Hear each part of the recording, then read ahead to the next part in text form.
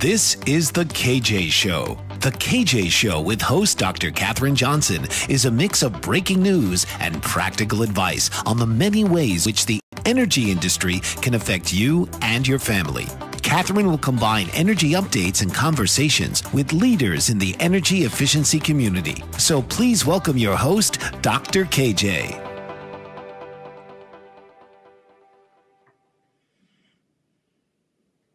Hello and welcome to the KJ Show. I'm Dr. Katherine Johnson, your host on the Bold Brave TV network, and today we're talking about blowing in the wind. Is the answer wind power? Really, probably not. It's maybe one of the answers, but not generally the only answer out there. So today we're going to talk about wind turbines and wind, all kinds of things wind related, and I have an update on some beavers too at the end of the show. But first, I wanted to talk about stuff that you just can't make up. I have to say, this is one of my favorite parts of the show, and every week I just end up being even more surprised. So, the first thing is, I've talked about this in a previous show about heating versus eating and the whole issue of whether or not we're supposed to eat meat. And the climate activists out there are telling us we shouldn't eat meat because cows are bad for the planet. Well, guess what the Dutch have done? The ads are now banning the Holland in certain cities like Haarlem are actually banning ads for meat products, just like they're banning ads for aviation fuels and fossil fuels, all as part of an attempt to get what? Reduce meat consumption because it's climate damaging. Um, they they actually the city actually said the council said they passed a bill two years ago that said that they want to be consistent and have a moral uh, prerogative and a moral imperative to make sure that they don't encourage eating of meat because it's just not good for the environment. And so they thought if they took ads for public in public spaces like on buses and in public squares advertising, I don't know, meat products, that would be considered immoral. So they decided to ban this. And this is the first time in the world that a company is actually banning ads for meat what will they think of next? And more fundamentally, um, Holland has, is going to be in the news a little bit later because you can't talk about wind power without, of course, talking about Holland. But I thought that was kind of an interesting thing that they're actually now banning meat ads. I wonder where else it'll happen. And then this is funny. Um, I always like talking about EVs, and apparently my listeners and viewers do too, because I get a lot of views on those shows. But an EV, it was an Uber driver's EV, and it's a hybrid and it's this source of his income for his family. So it's very important that his EV works, right? Guess what? His EV was destroyed by rats. They ate it. Apparently, deep in the entrails of his Xansi's Kia, uh, an electric crossover car, was gnawed away by rats, big chunks of wiring, and causing more than 5,000 pounds, which is about $7,500 in damage that neither the car's warranty nor the manufacturer will cover. Insurance won't cover it either. So now this guy has lost has $7,500 worth of damage because the wiring was eaten by rats. And the reason it was is because it apparently is made out of interesting tasting materials to rats.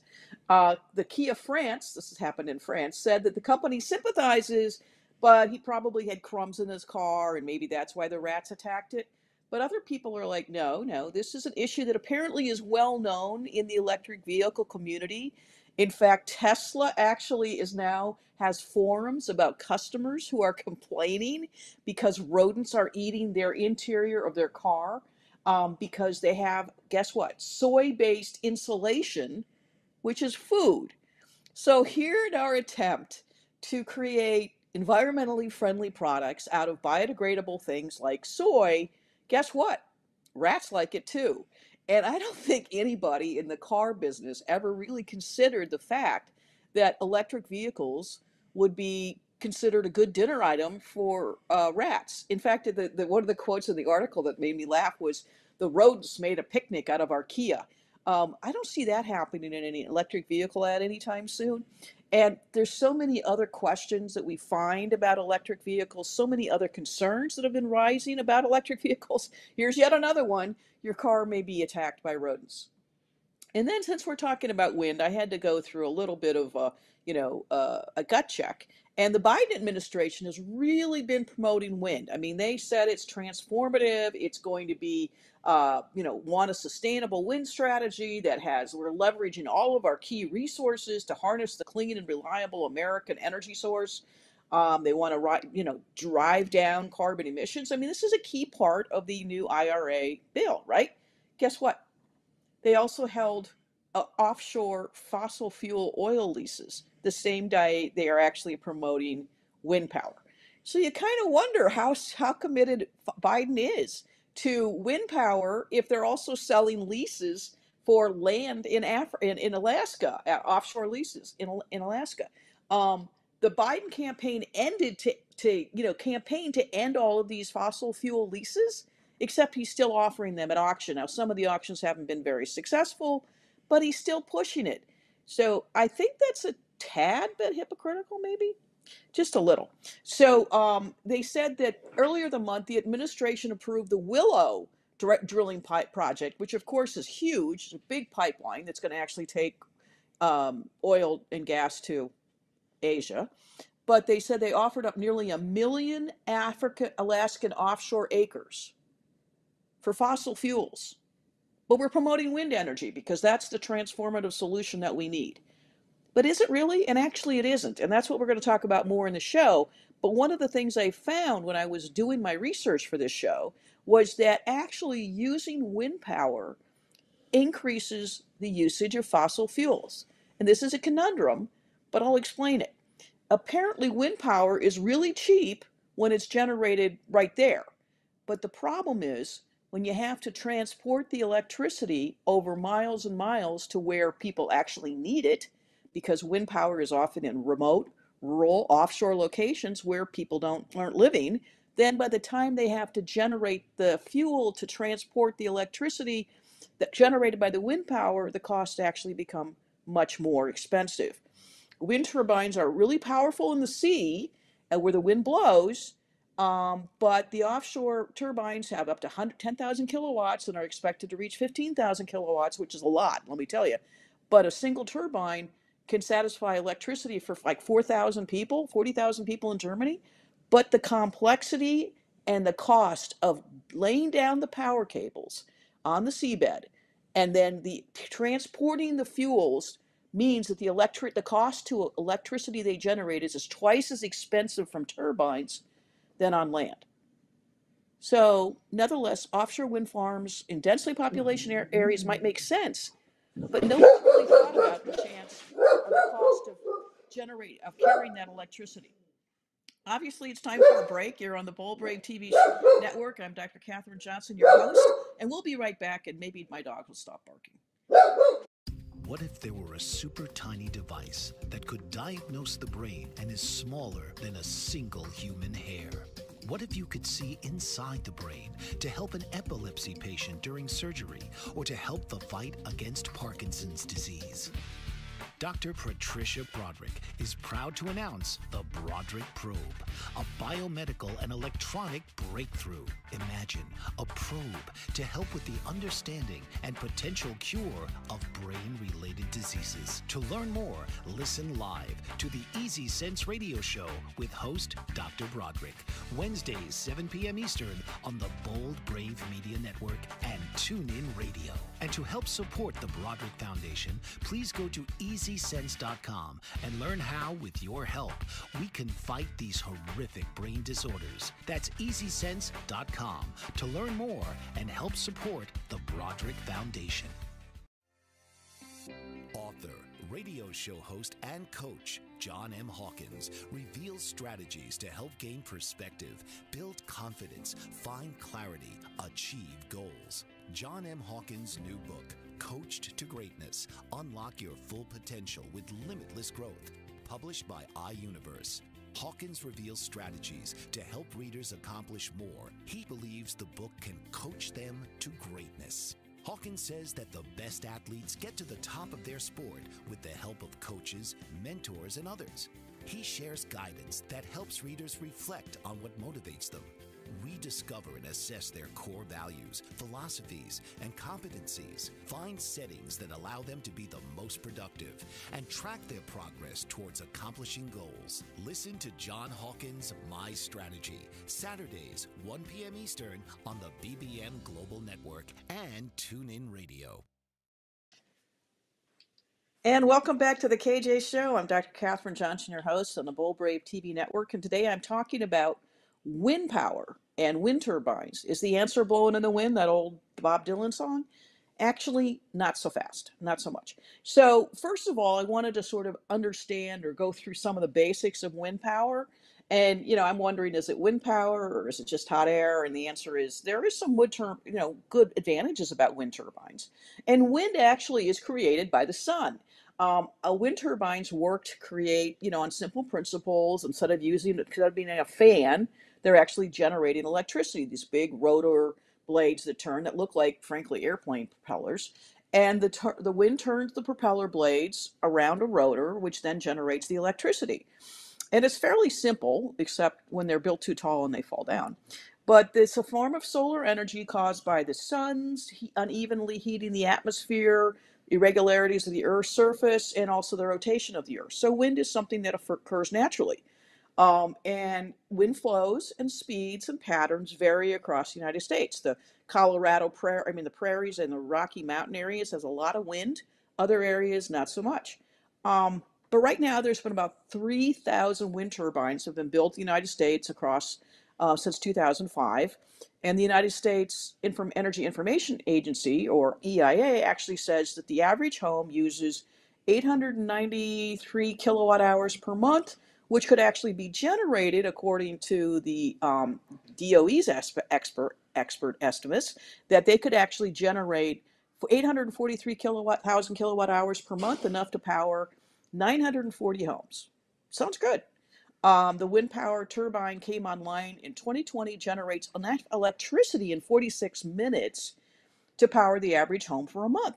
So this sounds really good, right? We have wind power, it's free, it's coming through, it can generate homes for, you know, electricity for 900 homes, or, you know, they can do it really fast. Um, so those all sound like really good ideas. And harnessing the wind does have some environmental advantages. It's free, which is always good. Uh, we don't have to go to war over it. Nobody has the control yet of the wind, and they are run on strictly with the power of the wind generated. So there's they say there's no need for the fuel, alternative fuels. However, that's not quite so true. And once a turbine is complete, it says it's basically up and running, and it reduces you know the overall cost because it's supposed to run for a long time. It's also clean because obviously it doesn't emit fossil fuels, and so that's a good thing. And they also think that the latest advances in wind technology will actually make it even better and more efficient. And as technology improves, so will the functionality of it.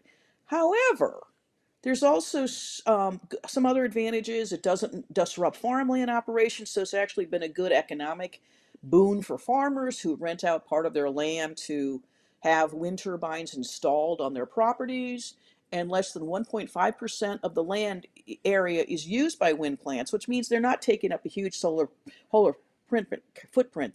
Kind of like solar farms take up a lot of space, wind turbines don't. Um, and as long as the sun heats the planet, there'll be an endless supply of wind. Good. Except now let's look between little behind those numbers. And as again, I used to be a journalist, so I never just take things at face value. And so I dig, dug a little deeper, and this is what I've discovered. First of all, uh, wind turbines, as we all know, are dangerous to wildlife. In fact, the wind turbines of the Straits of Gibraltar are actually turned off when birds are migrating during certain seasonal periods. I was there in Gibraltar and I learned all about how they have all these really important migratory routes for all these very rare and I mean basically most of the birds come from Africa through through Gibraltar back to Europe and the United States and, and everywhere else. So Gibraltar's like the crossing zones for birds. And so they actually turn off their windmills, their wind turbines during the migratory season and rely on other things for generating electricity, which to me sounds like a good solution. However, they've also not every country or jurisdiction has that philosophy, and unfortunately, they've known that they have killed birds. They also kill bats, tree bats. The wind turbines they think the tree bats get confused when they're not spinning and they think they're trees and then they fly into them and they get killed and they find tens of thousands of dead bats. Now, bats aren't my favorite creature, but they are an important creature to our ecosystem and the fact that they're being killed is terrible by something man-made, right? I mean, if it was a tree, they wouldn't be killed, but the wind turbine is causing environmental damage. Um, the wildlife on the ground may also be affected by the whirring blades and the noise pollution. Also, when a turbine falls down, the wind turbine falls down, it's been known to decapitate cows. Um, other problems is, another problem is that they found out that um, that beneath the turbines, these also affecting the birds. Um, and off, certainly offshore, we've had concerns about, you know, I've heard about beaching whales and wild uh, fish being upset, you know, upset and migratory patterns being upset because the wind turbine, either on the ground or in the sea, creates vibrations that confuse dolphins and confuse whales. So it's not quite as environmentally friendly as one would like you to believe. Um, that there are more three quarters of the bat fatalities are at wind turbines from species known as tree bats, and they are also um, unfortunately being killed off. So I don't know where the environmentalists stand. Is it all right to kill birds and bats? Um, I don't think so. Um, and another advantage of it, a disadvantage of wind turbines, is that it's actually noisy. And this is something that, you know, we've heard people complain about. The cows don't like it, apparently. And they're very noisy. They're, that's why they're found in only rural areas. Yeah, let's have the rural farmers take the burden of the noise. And, you know, why bother it with the busy, noisy American suburbs and cities, right? We can't put wind power there, wind turbines there. Um, they have developed some newer designs to make it a little less noisy, but there's also some problems with that. Lastly, it is expensive up front. Um, you know, it's not it's not easy to build these propeller blades and make them strong enough to generate wind. And they said the further ground further in rural areas, it costs a lot of money because there's not an infrastructure in place. So they have to lay the cables and they have to connect it to the grid, and that's all very expensive. But lastly, and probably the most important part that's really concerning to me is it's unpredictable. It's intermittent. It's what the uh, same problem we have with solar. Wind turbines work great when the wind is blowing. Um, when we were in France, we saw a lot of wind turbines across the beautiful, you know, countryside of France but a lot of them weren't turning on and a lot of them weren't working because the wind wasn't blowing or the French EDF, Electricité de France, didn't need the power because they're 97% nuclear. Uh, so that can cause what is called intermittency, which is something that electrical engineers really don't like because it means it's unreliable and the cities don't have, and unless you can figure out a way to do energy storage, which is a whole nother thing, then maybe it isn't such a great idea. And then um, the last thing is Scotland, which claims it has all these wind turbines.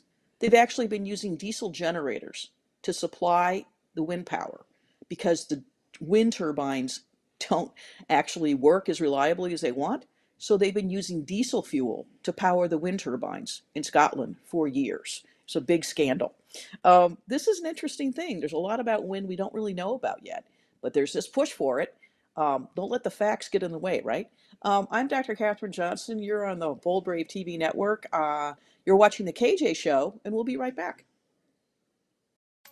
Did you know that your beliefs create your entire reality? But it's the subconscious beliefs that do most of the creating. Belief shifter and life coach Shiraz can help you identify those limiting beliefs and eliminate them, often in a single session. Like it was almost instant. Like I had relief right away. Creating better health, relationships, careers, and finances. Let Shiraz help you step out of safety and into awareness. Definitely something's happening. Uh, it's like a, a flow inside. Yeah, it feels good. Whether in person or online, Shiraz provides personal coaching, belief shifting. Visit Shiraz at energeticmagic.com or call 416 529 7429. Energetic Magic on the BBM Global Network, Tuesdays at 7 p.m. Eastern. Find your greater happiness. Be well, be aware, be magical. Are you struggling to care for elderly parents or a spouse? Do you wonder if being a caregiver is making you sick? Are you worried about taking time off work to care for elderly parents and balance work, life, and caregiving? Has caregiving become exhausting and emotionally draining? Are you an aging adult who wants to remain independent but you're not sure how? I'm Pamela D. Wilson. Join me for the Caring Generation radio show for caregivers and aging adults Wednesday evenings, 6 Pacific, 7 Mountain, 8 Central, and 9 Eastern, where I answer these questions and share tips for managing stress, family relationships, health, well being, and more. Podcasts and transcripts of The Caring Generation are on my website, pameladwilson.com, plus my caregiving library, online caregiver support programs, and programs for corporations interested in supporting working caregivers. Help, hope, and support for caregivers is here on The Caring Generation and pameladwilson.com. And welcome back to the KJ Show. I'm Dr. Katherine Johnson, your host on the Bold Brave TV network. Today I've been talking about blowing in the wind wind turbines and whether they're actually making sense as part of our clean energy renewable strategy. I think they have to be part of the common uh, part of the equation, but they certainly not, are not the answer to all of our green energy crises. Uh, before we went to the break, I was talking about how wind power actually is has intermittency problems, and in Scotland, it was a big scandal I just discovered where they've been having to, even though Scotland is lauding itself as having one of the best wind power, you know, generation, and their, you know, 40% of their electricity is generated by wind. A whistleblower came out, and the first story was first broken about three or four years ago, and now a new story's come out where they're actually admitting that they've been having to use diesel fuel to power the wind turbines about uh, uh, under 50 mar- under 50 megawatts because they need to provide insurance to make sure that the lights actually stay on when the wind doesn't blow. So instead of being this environmental option of getting rid of, you know, dirty fossil fuels, what are they using? The wind powers? They're fueling it with diesel fuel.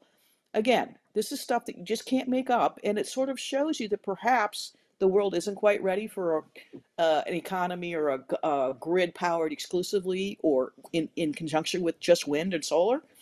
And there's been a lot of pushback in Europe too. There's this whole NIMBY, not in my backyard uh, view, where a lot of places are actually saying, no, no, no, no. We like global warming. We believe that global warming's happening. We want to do the things we should do, but you're not going to put a wind turbine in my backyard. Martha Vineyard did it. They didn't. They said it was ugly and it would kill birds. They don't have one, even though blow, wind blows quite nicely over that cape. Um, so as green energy policies are being rolled out worldwide, there's a lot of political pushback. In Australia, there are plans to there were plans to cluster wind and solar projects and renewable energy zones, but now the towns around those towns, those some of those towns are saying, no, no, no, we don't want that in our community. Uh, they just don't like the public opinion is against them. They're like, no, we don't want it. We can have it somewhere else. We're all for wind and solar, but not in our backyard. Um, and the Danish, who are also pretty environmentally conscious and certainly on the forefront, and they have a lot of wind turbines offshore, they actually have one of their biggest stakeholders is now pulling out of its wind farm that it was going to build in 2004 because it costs too much. The capacity, they said, to have a capacity of 700 megawatts would require over a billion dollars and they would have to have up to 119 turbines. It's just not an economic venture. And so Dan, Dan, Dan, Denmark is pulling out of it. And even though um, people are, you know, in Denmark very con- concerned about making sure we push away from fossil fuels, even they have a cost and a limit on how much they will spend on this. Holland is actually canceling wind turbines. I mean, I read this and I'm like, but Holland, you know, we've seen all those pictures of those beautiful windmills, and the, every little town has them with the tulips and the, you know, that's pretty much Holland's vision, right? They're all for windmills, except not wind turbines, not in my backyard. They actually had a huge demonstration where this is from Holland, where these women are saying no to wind turbines. They don't want them. Windmills are one thing; they aren't as dangerous and as and, and noisy. But Holland without, we'd think they'd be one of the leading proponents, right, of wind power? Absolutely not. Their proposed wind farms that have, are estimated one fifth of the Dutch municipalities have been negatively affected due to a local support, and dozens are being canceled or delayed. So even though Holland has a proven history of wind and using wind to, you know, do their windmills, they don't want to put in wind turbines because it's too noisy. Swedes are also against it, as are uh, Germans.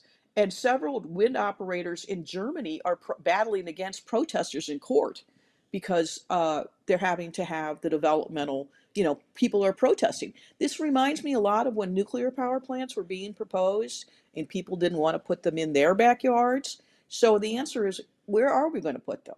And do you know i never thought of wind turbines as quite as controversial as nuclear but apparently in holland and germany and sweden they are. And then this is something that's even closer to home.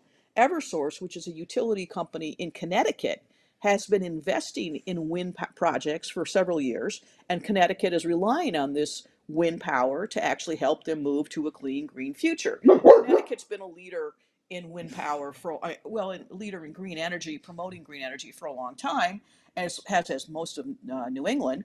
And they are announced on Thursday, though, in uh, May 23rd, on May 25th, Eversource Energy announced that they were going to sell the company that they had invested in their 50% ownership stake in a wind turbine operation, a 175,000 acres ton of which a wind farm was going to be developed and located 25 miles off the south coast of Massachusetts.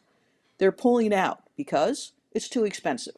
Uh, the company sold its ownership stake for $625 million to a joint venture pro- partner um, with a, and then this is a Danish partner, so we'll see how the Danish partner ends up faring now that the Dan- Danes are also pulling out of wind power. And the company's decision and whether or not to build this, what they call the revolutionary Revolution Wind Project, is whether actually it's ever built because it was going to be two wind farms in the southern New England coast. Guess what? They thought it was going to generate electricity for Connecticut, but now they don't think it's going to actually happen because the, the other wind farm, which is Parks City Wind Farm in, in um, another part of Connecticut, was in the midst of trying to change the terms of its deal with its offshore wind contract in Connecticut. So when you actually start getting into the basics, the economics of wind power, the concern is that maybe it just doesn't make sense economically. I mean, you know, there's the other reasons to do things.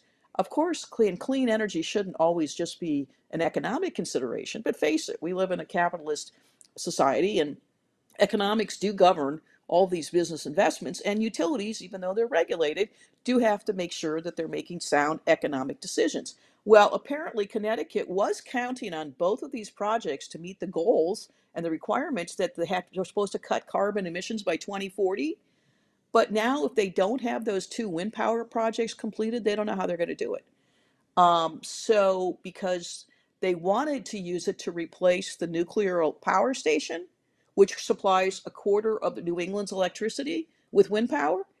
But I don't think they're going to be able to do that if the wind power farms are no longer operational.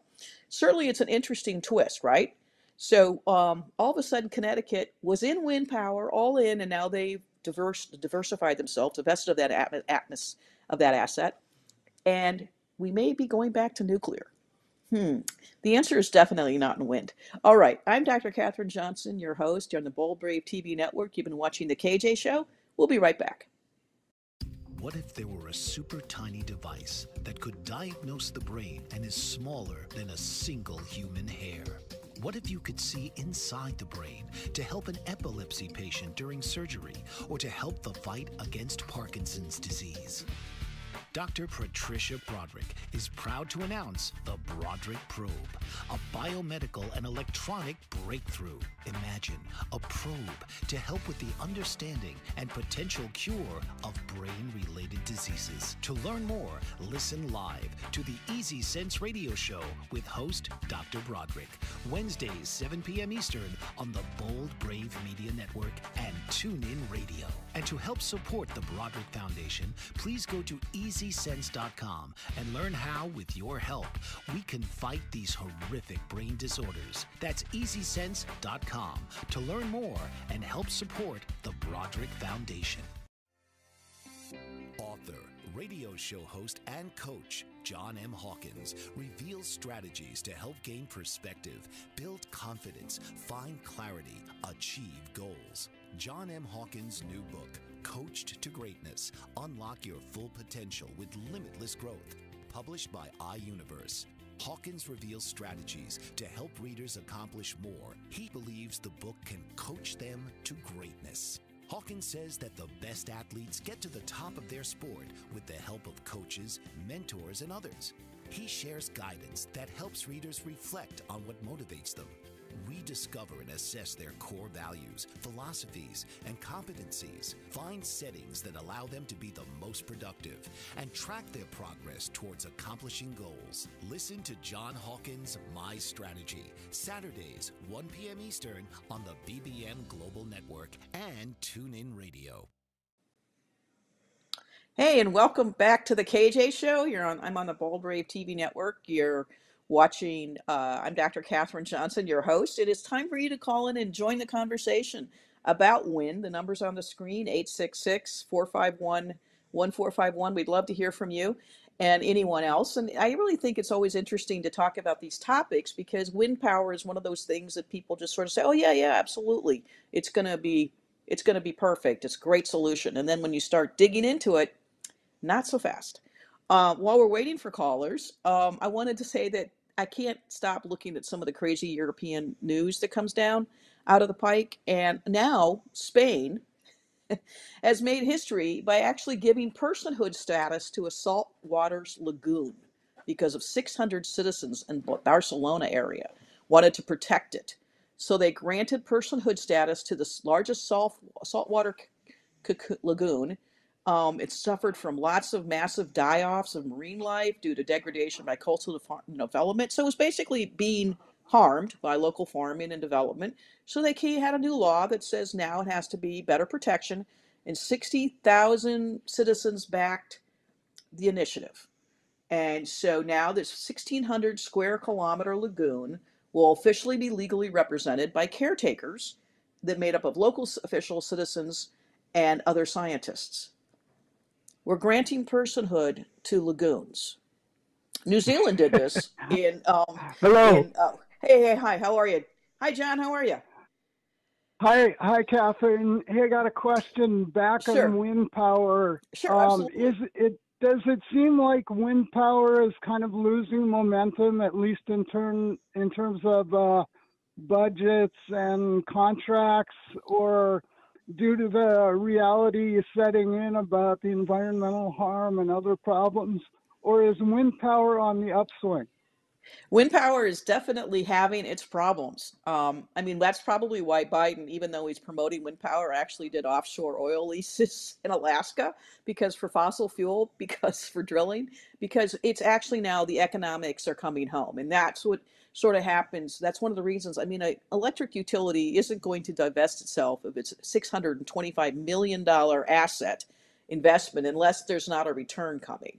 And some of the later information I'll share talks about how it just becomes uneconomic when you have to put up so many wind uh, turbines to generate electricity in the first place, and then you have to tie it to the grid either in the off in the ocean or on land, and that in itself is a whole nother expense. So the challenge is that wind power, I mean, solar is not particularly economic either, and it would have died years ago without all the government um, rebates and incentives, and Solyndra.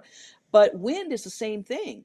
Um, and it's very difficult. It's very expensive. They're having quality control issues. Some of the wind turbines are falling down and causing damage. So, wind turbines are, I think, a good idea, but they're not really ready for prime time. And as more countries and companies start looking into it, they're like, wait, wait, wait, wait, can't do it. Not to mention, when you have Holland pushing back on wind turbines um, because Oh, they like their windmills, it's it's like, are you kidding me?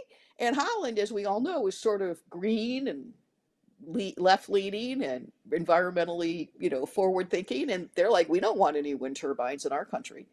I mean, it's Huh, just sort of amazing to me. Yeah. So I think the the bloom is off the rose, so to speak, and the environmental Yeah. issues just even make it even more uh, just another reason. But the reason I think that people aren't really are really pulling out wind power, I hate to say, isn't because of environmental issues. It's economic. If you can't make Huh, money off of it, or if it takes too much, if it costs too much to export the electricity to transport it to the grid, then how in the world is that a solution? Face it, John. yeah. All of the decisions utilities, all of the decisions utilities make, or any business makes, are based on economics, right? And then we just think of ways to make it look palatable for a political Yeah. reason, right? They should be. Yeah. Yeah. Good answer. Right. No, thank you, John. Thank you for calling in. You. I, I have Yeah. some more fun stuff to share too. I do am scared that there's now giving personhood status to loons because what's next? Are we going to start giving personhood status to mountains? I mean, come on. Um, in my church on Sunday, we read the story of, uh, of Genesis and the creation, and uh, you know, you don't have to be religious to say, uh, by the way, um, you know, in the story of Genesis, it was pretty clear that man was, you know, supposed to take care of the earth and also be in charge of the earth and be good stewards of the earth, which we should be at, at all times, regardless of our religious affiliations. But I don't think that God made lagoons have the same personhood as man. And I just kind of wonder where is this going to stop?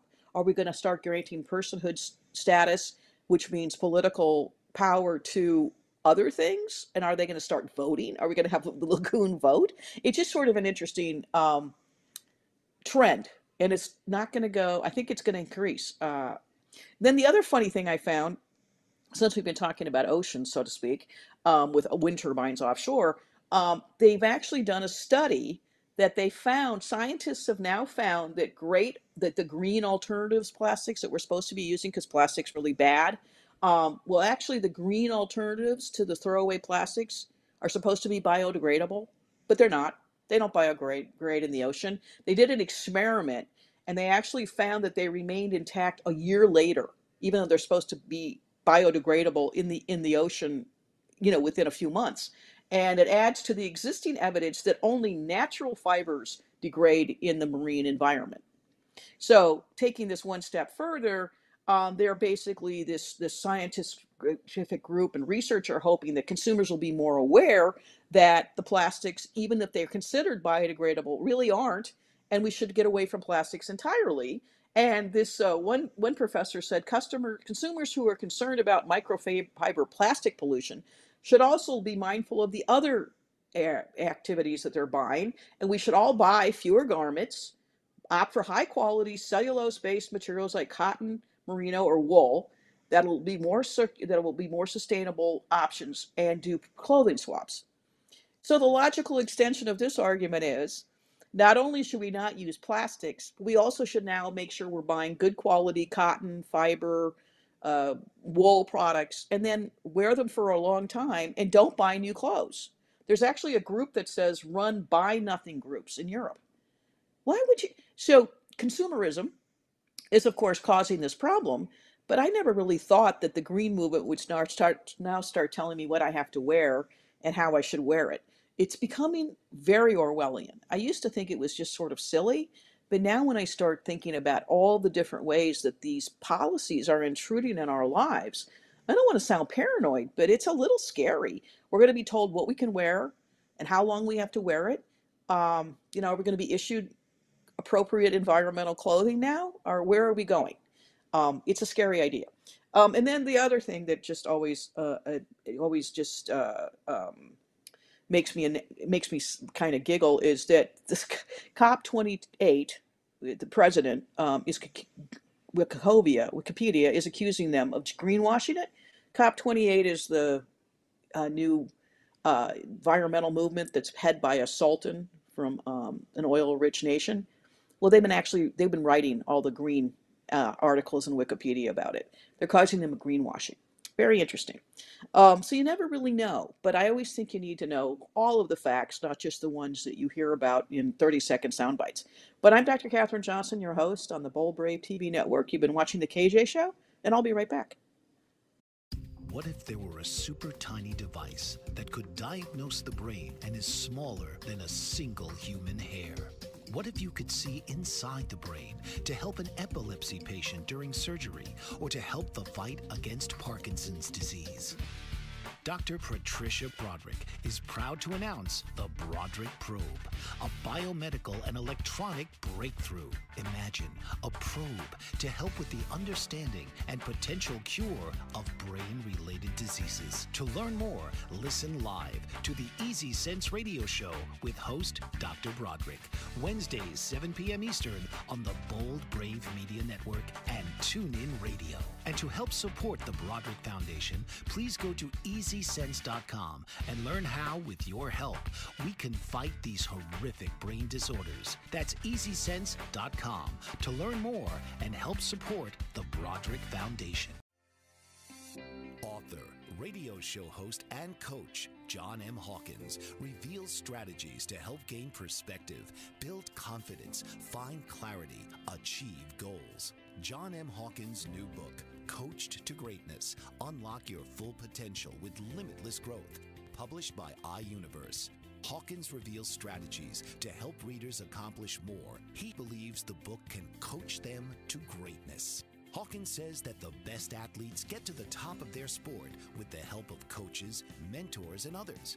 He shares guidance that helps readers reflect on what motivates them rediscover and assess their core values, philosophies, and competencies, find settings that allow them to be the most productive, and track their progress towards accomplishing goals. Listen to John Hawkins' My Strategy, Saturdays, 1 p.m. Eastern on the BBM Global Network and TuneIn Radio. Hey, and welcome back to the KJ Show. I'm Dr. Katherine Johnson, your host on the Bold Brave TV network. I am talking today about wind farms and wind turbines and blowing in the wind. And, and I also had a fun little comment from John about that, just, you know, renewable clothing used to be called hand-me-downs. I totally understand, and John does too, because he came from a very large family, and I'm sure he had his fair share of hand-me-downs. But it is kind of interesting. But I want to talk a little bit about what John was getting at about what is the future of wind power and what, you know, where does it look, where do we think it's going? And actually, it's facing a lot of different crises. First of all, they're facing a a supply crunch and a part shortage caused by, of course, all the other issues that we've had with COVID and the pandemic and supply chain disasters and the ships that can't unload, unload their cargo. Well, that has a ripple effect across the entire economy. So the development of wind farms has actually been a lot slower than they thought because they just can't get the parts. There have been shortages of parts and assembly capacity risks are holding back on the technology. This is according to the Global Wind Energy Council. Um, scaling up wind requires healthy industries, and healthy industries require thriving markets. Yeah, except we're in the middle of a war in Ukraine and Russia. We're in the middle of a recession, or they're almost a recession, right? Some sort of economic ch challenges. And now we have supply chain issues, which are affecting the ability to build wind power. And not only do they have a supply problem, they're now actually starting to say that even though wind electricity generation has grown rapidly, it's still not enough. We need to have the International Energy Agency, based in Paris, says we need instead of having uh, 8,000 terawatt hours by 2030 in in order to hit our net zero goals. Um, that's a lot of energy. And now with companies pulling out of it, where's it going? Where are you going to get? The pressure to develop new wind turbines stalled amid cost pressures and logistical bottlenecks, um, with only 77 gigawatts built. Now, a gigawatt is a part of a terawatt. I'm sorry, I don't know all the physics associated with it, but you need a lot of gigawatts to get to a terawatt. That much I do know, and we're not going to have it. We just don't have the capacity right now um, in Europe. But guess who is building wind farms? Guess who? China. China has been building the largest wind farm and it could build that could power 13 million homes. Funny, China doesn't seem to have the supply issues. Oh, maybe that's because where the supplies are coming from. China is planning the world's largest wind farm, and it's, it's so big it could actually uh, power all of Norway. Uh, it's in a city in the Guangdong province and has released ambitious plans for a 43.3 gigawatt fat facility in the Taiwan Strait. Um, it'll be offering off of uh, it's going to basically have 75 to 185 kilometers offshore, and it'll be offering powerful wind turbines. Um, the turbines will be able to run between 43 and 49% of the time, and the project will start before 2025. Okay, so they're going to build the world's largest wind farm off the coast in China, but it's still, even though it's windy, it's only going to work 43 to 49% of the time. 50%, that doesn't sound reliable to me call me silly, but also it's also saying that China can do it, but because they have the parts. The problem is, do we have enough wind capacity in the world? And the answer is, as of 2021, the total offshore capacity is now 830 gigawatts, but China accounts for half of that. So, yes, wind turbines are being built, but they're not being built in places that benefit the Western world, and they're being built in places where they have the parts. Uh, it's also noted that um, China has installed more offshore wind generation than any other country in the last five years. Is anyone else worried about maybe maybe the reason China is building all these wind turbines is because they have the parts and they won't sell them to us or we can't get them? It seems, I don't know, a little scary to me. Um, and another problem is that they now started to look at a wind turbine in Norway that wanted to, you know, basically build an offshore turbine off the coast of Guernsey, which is near England. And they said, but in order for it to be an economic decision, in order for it to make economic sense, they'd have to install 100 turbines, wind turbines, to generate enough electricity to make it affordable. I thought wind turbines were free. I thought the energy was free. I thought it was supposed to be an economic benefit, but apparently not. According to this uh, vice president of UK Renewables, says the large scale wind farm makes the most sense economically, but the surplus energy, so it's going to generate too much energy, it would need to be sold to either the UK or France, and that means they can't find. They need to find a way to offload it because it'll generate too much electricity and it'll just go to waste. And unless they can figure out a way to transport it through the grid, it's gonna it's not gonna be economical. So that means Guernsey won't take all of it, and you have to have a buyer at the right price price level needs to be found, because this is a, a, a you know this asset is electricity. It's, it can store it, but not that long. And by the way, so you're generating all this electricity, but unless you have a market and people to buy the electricity and a way to connect the electricity back to the grid in Europe, it's going to go to waste which means it's not an economic solution. When, and then the other problem that they're having is that wind turbines were originally thought that they were going to last a long time, like 30 years. Nope, they're actually failing faster than expected. And the wind turbines don't last as long, and the cost is higher than they thought, especially when they start having to replace the wind turbines. So Texas is now accounting for a quarter of all their wind farms, but they're actually now passing laws because what's happened in other places that have promoted wind power, like Hawaii and California, what happens is when the wind turbines go out, get out of commission, when they're no longer usable, they are abandoned at huge costs. They think it was going to be maybe $100,000 to recycle them. Well, first, they can't be recycled.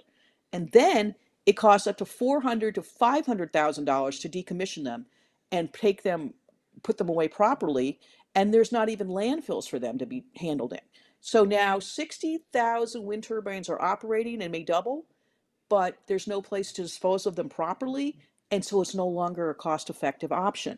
And now some countries or some states are actually going to require the operators to get rid of, dispose of the wind turbines when they're no longer operable, rather than passing them on to the citizens, which is what they've done in Hawaii and California.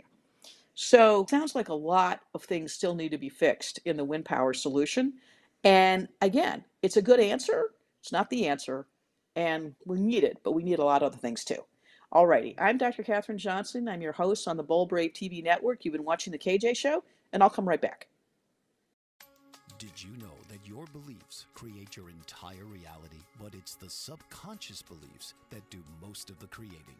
Belief shifter and life coach Shiraz can help you identify those limiting beliefs and eliminate them, often in a single session. Like it was almost instant, like I had relief right away. Creating better health, relationships, careers, and finances. Let Shiraz help you step out of safety and into awareness. Definitely something's happening. Uh, it's like a, a, flow inside. You know, it feels good. Whether in person or online, Shiraz provides personal coaching, belief shifting. Visit Shiraz at energeticmagic.com or call 416 529 7429. Energetic Magic on the BBM Global Network, Tuesdays at 7 p.m. Eastern. Find your greater happiness. Be well, be aware, be magical. Are you struggling to care for elderly parents or a spouse? Do you wonder if being a caregiver is making you sick? Are you worried about taking time off work to care for elderly parents and balance work, life, and caregiving? Has caregiving become exhausting and emotionally draining? Are you an aging adult who wants to remain independent but you're not sure how? I'm Pamela D. Wilson. Join me for the Caring Generation radio show for caregivers and aging adults Wednesday evenings, 6 Pacific, 7 Mountain, 8 Central, and 9 Eastern, where I answer these questions and share tips for managing stress, family relationships, health, well being, and more. Podcasts and transcripts of The Caring Generation are on my website, pameladwilson.com, plus my caregiving library, online caregiver support programs, and programs for corporations interested in supporting working caregivers. Help, hope, and support for caregivers is here on The Caring Generation and pameladwilson.com. And welcome back to the KJ Show. I'm Dr. Katherine Johnson, your host on the Bold Brave TV network. And today I've been talking about wind power, but I in this part of the show I always like to talk about something a little fun. And I had I haven't been talking about my favorite animals, the beavers, in a while. So I wanted to give a beaver update. Um, so we have a couple wildlife updates actually, which seems appropriate since we are worried about the birds and the bats and the fish and the and the whales uh, being affected by wind power. But guess what? Beavers have been brought back from the edge of extinction in London and now they're a protected species. Now I don't have a problem protecting beavers uh, or making endangered species. I think that's right. What that's probably what we should do rather than giving them personhood. But the beavers are now a protected England species in England after four year, 400 years after they were nearly hunted to extinction, and it's now illegal to kill, capture, or injure beavers. And they call them ecosystem engineers. I just call them the Swiss Army knife of animals um, because they're basically saying if you hurt a beaver, you're in trouble. And we don't want to hurt our beavers. We love our beavers. But changing the legal status of beavers is a game changer for these amazing eco engineers who benefit wildlife and people. And, um, and they've actually started to reintroduce them. And now eh, people are so excited that beavers are coming back to England that they're actually going to have beaver safaris in London Londoners will be able to see beaver safaris to see the animals in the wild. Where the pairs are settled, they're going to have organizations in charge of rewilding the beavers. Will run beaver safaris so catch so they can see the beavers in the morning and the evening. And the findings uh, they show that the beavers have reduced flood flows by up to 60%. Re- rewilding is a crucial tool in the toolbox for tackling climate and nature emergencies. And beavers can do much of that rewilding free of charge in rivers and wetland environments. I'm all for the beavers. Go beavers. Um, and so England has finally done what California was doing a few months a few months ago, and actually realizing that beavers are essential to our climate protection strategies. Um, and maybe going back to Alaska isn't such a bad thing. And then I'm a French francophile, right? People know that I'm, I love France, and I spent six weeks there, and it's really fun. But apparently, the French, being French, well, there's some tensions between the city slickers and the rural farmers.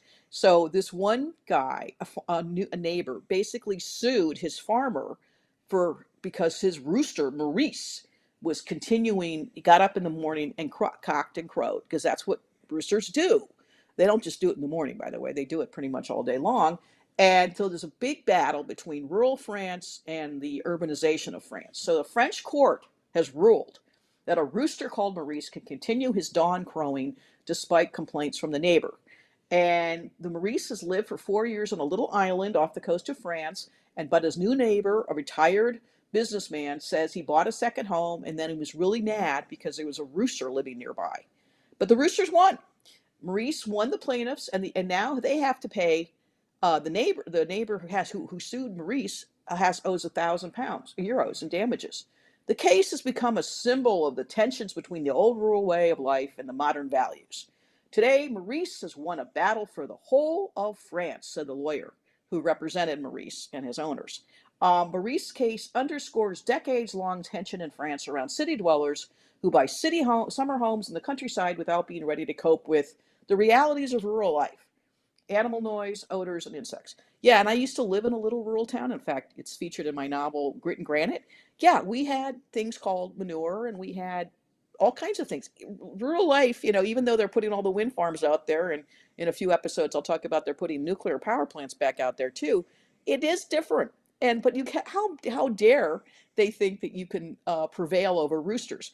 And I can tell you, the French take their wildlife and their conservation and their animals very very seriously. The food in France is really delicious, and it's because I think the animals are so well cared for they develop the local um, scene of eating it, and they actually are very proud of their roosters, and they're very proud of their way of French life. And I'm glad that they're standing up to these city dwellers who are coming in and saying, "We have roosters." Well, yeah, you're in the country. What do you expect? That's how we have. That's one of the ways we get, you know, helps us to get eggs.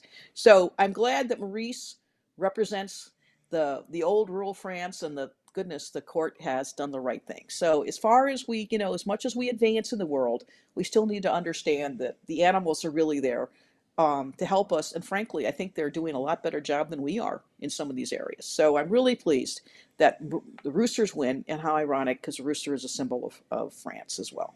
So I'm the Dr. Katherine Johnson. I've been watching the KJ Show and the Bold Brave TV network.